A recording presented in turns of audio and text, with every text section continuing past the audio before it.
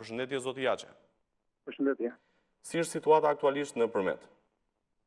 Në Përmet situata është goxha e rënduar.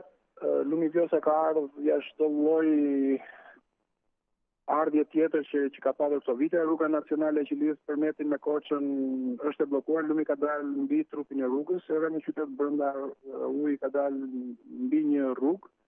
Megjithatë, gjendja në Përmet disa ambiente shërbimi rrezikohen që janë ndaj lumit Vjosa. Po gjendja në Përmet në përgjithësi nuk është edhe ura, situata është uji godet fort urën e qytetit, por nuk besoj që të ketë ndonjë lloj problemi dhe në Përmet nuk besoj që të ketë probleme.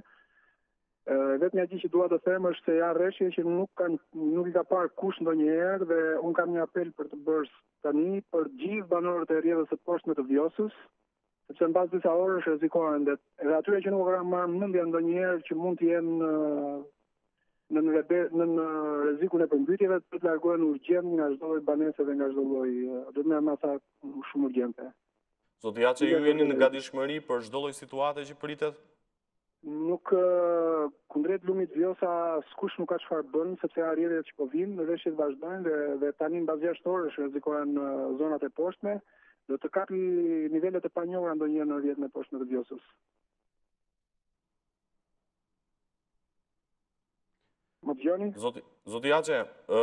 kjo situatë ka ardhur pikërisht për shkak të prurjeve të shumta, nuk ka pasur probleme të tjera me argjinaturat e Vjosës ose me jo, elementë jo, të tjerë mbrojtës të cilët... Vjosa ka shtrat shumë të thelluar në rrjedhën e sipërme dhe pavarësisht fryrjes shumë të madhe dhe reshjeve të jashtëzakonshme, Rreziku është më i vogël, rreziku është më i vogël, por në rrjedhën e poshtme të të, të lumit Vjosa në Vlorë, në Fier, fushat e Tepelenës rrezikon masivisht që të ketë katastrofë. Zoti Jaçe, unë të falenderoj për këto informacione që na solle për sa i përket situatës. Për, për mundësinë.